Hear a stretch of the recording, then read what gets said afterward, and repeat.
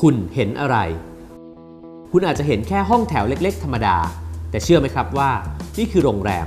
ที่เต็มแทบจะทั้งเดือน ด้วยจุดขายที่ว่า บ้านนี้อยู่แล้วเย็น และเย็นโดยไม่ต้องเปิดแอร์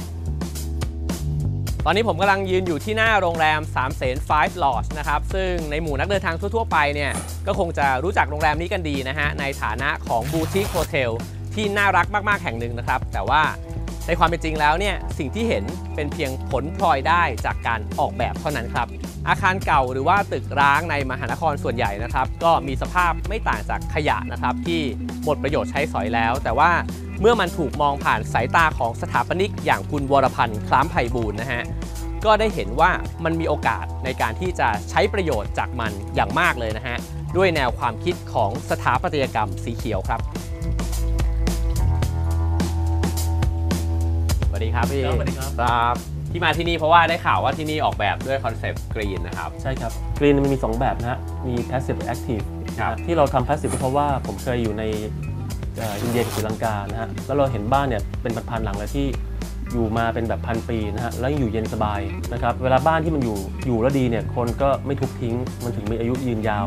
แค่สร้างบ้านให้มันอยู่ได้เย็นสบาย ช่วยพาเดินนิดนึงครับได้ครับ ว่าที่นี่ออกแบบเป็นไง ก็ตอนนี้นะฮะเราอยู่ในส่วนที่เป็น center ของ3ามเซนห้านะฮะครับผม คือ3ามเซนห้าเนี่ยเดิมเป็นโรงรถชั้นเดียว อืม ร้อนๆเลยนะฮะครับแล้วผมก็มาเช่าที่ทำออฟฟิศทำไปทำมาเนี่ยที่มันเหลือเยอะเราก็เลยทำโรงแรมเพราะว่าบ้านผมทำเกสต์เฮาส์มาก่อน ตรงส่วนเนี้ยครับเป็นส่วนที่เราเรียกว่าเป็นอุโมงค์ลม ตรงเนี้ยเป็นส่วนที่ข้างหน้ามีน้ำแล้วก็เป็นช่องช่องลมตรงๆเข้าไปนะฮะ ครับ แล้วก็ตรงกลางเนี่ยจะมีแสงเข้ามา ตรงปลายเนี่ยเป็นห้องเบอร์ 3 เรียกว่า lovers room แล้วก็ห้องเบอร์3เนี่ยจะมีสวนอยู่ข้างใน ดังนั้นเวลาเปิดหน้าต่างเนี่ยลมตัวนี้มันจะดึงลมเข้าไปข้างในด้วย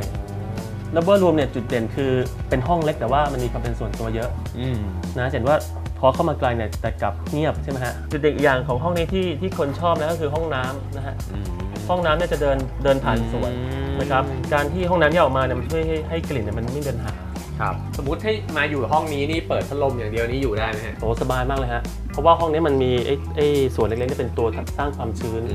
ความชื้นข้างในข้างนอกแตกต่างกันลมก็วิ่งโดยธรรมชาติ ก็ตอนนี้นะฮะเราอยู่ในส่วนพื้นที่นั่งเล่นของระหว่างห้องหนึ่งกับห้องสองตรงเนี้ย มันจะเป็นเหมือนกับล็อบบี้ของโรงแรมแต่เล็กและมากๆเลยนะฮะอ๋อแล้วก็ตรงนี้จะเป็นส่วนที่ช่วยกรองความร้อน ใช่ไหมพอความร้อนเข้ามาปุ๊บเนี่ยจะจะถูกตรงนี้กรองเข้าไปก่อนคือแดชั้ดนหก็นึ่งไม่ได้ถึงผนังห้องนี้เลยทีเดียว ใช่ มันทำให้ห้องหนึ่งกับห้องสองนี่เย็นมากนะฮะครับเดี๋ยวผมจะพาไปดูห้องหนึ่งก่อนละกันนะฮะห้องหนึ่งเนี่ยเราเราใช้ชื่อว่า Chinese room หรือห้องคนจีน จุดเด่นของห้องจีนก็คือจะเป็นห้องใหญ่ที่มีเตียง king size สามารถนอนแบบ family ได้อืมนะฮะและอย่างหนึ่งที่ผมให้ความสำคัญก็คือโรงแรมเนี่ยควรมีโต๊ะอ่านหนังสือเพราะนักเดินทางเนี่ยเขาต้อง ต้องเขียนต้องอ่านอะไรเยอะๆนะฮะห้องนี้ทำไมถึงเย็นนะครับก็อันนี้เราเราเห็นห้องนู้นเนี่ยมีสวนใช่ไหมฮะอืมแต่ห้องเนี้ยเราใช้ห้องน้ำเนี่ยเป็นเครื่องสร้างความเย็น เหมือนกันฮะห้องน้ำทำหน้าที่เหมือนสวน สร้างความชื้นนะฮะแต่ห้องน้ำเราก็ต้องไม่ชื้นมากเพราะว่ามันจะมีสกายไลท์ให้ให้แสงลงให้ห้องครับ น้ำแห้งห้องสองเนี่ยเป็นห้องยอดนิยมโอ้นะนะฮะชื่อว่าคอร์ดยาร์ดรูมหรือว่าห้องสวนนะฮะ ห้องนี้นี่เปิดโล่งเห็นสวนเลย ใช่ครับ ห้องเนี้ยที่ ดีมากๆเลยก็คือขนาดห้องมันไม่เล็กไม่ใหญ่จนเกินไปนะฮะอืม ตัวนี้ก็จะทำให้ห้องนี้เย็นมากๆนะฮะถ้าเปิดหน้าต่างเนี่ยลมจะวิพัดแทบม่านแทบปลิวเลย ครับดูแล้วเนี่ยจริงๆ ไม่ได้ใช้วัสดุอะไรที่เป็นเทคโนโลยีพิเศษเลย ไม่มีเลย แต่มาจากการออกแบบล้วนๆเลยถูกต้องอืมอันนี้ฮะเป็นสิ่งที่ผมอยากบอกคนไทยว่าเรามีบ้านเย็นด้วยวิธีง่ายมากๆเลย คุณไม่ต้องซื้อของแพงเลย อืม แค่คุณออกแบบเป็นครับคือแปลนบ้านที่ดีมีสเกลที่ถูกต้อง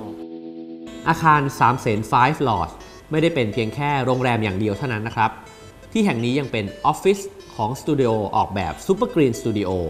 ซึ่งเป็นบริษัทที่เน้นการออกแบบสถาปัตยกรรมสีเขียวโดยเฉพาะ ซึ่งคุณวรพันธ์ก็เป็นเจ้าของบริษัทอีกด้วย ตอนแรกเราจะตั้งชื่อ Green Studio เฉยๆนะฮะ คิดมาตั้งหลายเดือน แล้วพอไปจดทะเบียนมันมีคนใช้ไปแล้ว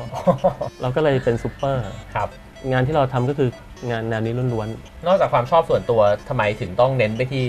แนวความคิด green นะครับๆผมเห็นว่าแนวเนี้ยมันเป็นสิ่งที่ช่วยประเทศเราได้นะฮะถ้าเรามัวแต่ไปตามฝรั่งอะไรก็ตามเนี่ยมันมันคงจะเกิดยาก แนวกรีนเนี่ยมันเป็นแนวที่เราพูดถึง culture แล้วก็ nature ไปพร้อมๆกัน ธรรมชาติกับกับคนไปพร้อมๆกัน ซึ่งมันทำให้เราพูดถึงเรื่องการอนุรักษ์พร้อมๆไปกับเรื่องการสร้างสรรค์นะฮะวิธีคิดในในในการออกแบบแนวเนี้ยมันเป็นสิ่งที่สังคมต้องการเป็นอย่างมาก แต่ว่าไม่มีคนพูดถึงครับมองเห็นความต้องการในสังคมจากอะไรอะครับโอ้ง่ายมากเลยฮะ ผมเปิด3ามแสนห้าเนี่ยมา 5-6 ปีนะฮะอืมผมลงสื่อไปเกือบ 600 ครั้ง โอ้อันยังไม่พอนะฮะ ปีแรกที่ผมเปิดเนี่ย ผมเปิดคอร์สสอนทำเปลี่ยนบ้านเก่าให้เป็นโรงแรมเบ็ดเสร็จทั้งสิ้น 12 ครั้ง มีคนเรียนไปประมาณ 1,300 คนนี่อันนี้คือ clear เลย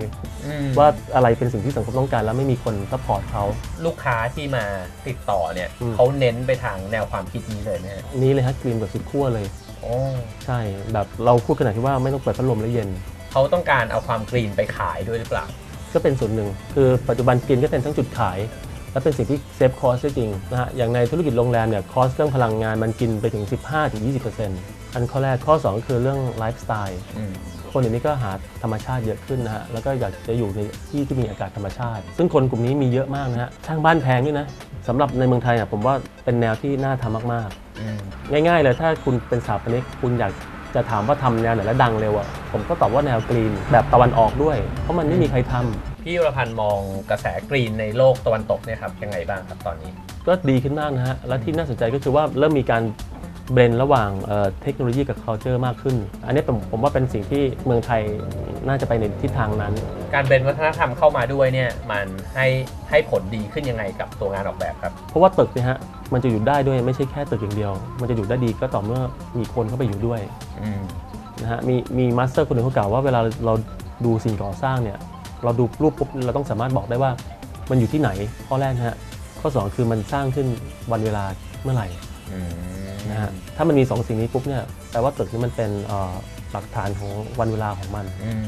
ครับนะฮะมันก็คือเอกลักษณ์ของเมือง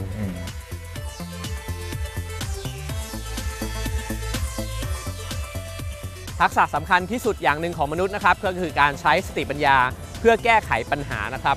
เมื่อปัญหาสิ่งแวดล้อมเดินทางมาถึงจุดวิกฤต มนุษย์ก็ใช้สติปัญญาของตัวเอง เพื่อแก้ปัญหาของมนุษย์และธรรมชาติไปพร้อม ๆ กันครับ ท่ามกลางปัญหาวิกฤตของสิ่งแวดล้อมนะครับ